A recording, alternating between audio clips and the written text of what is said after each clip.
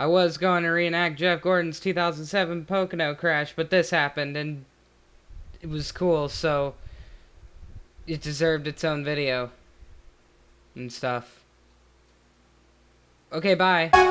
Sick to my motherfucking tummy. Bitch must think I'm a motherfucking dummy. Because I just bummy, bitch think I'm broke. Bitch, I ate one roach and I made a lot of money. Poppins is bastard. Clancy is my slave master. Thanks to them crackers,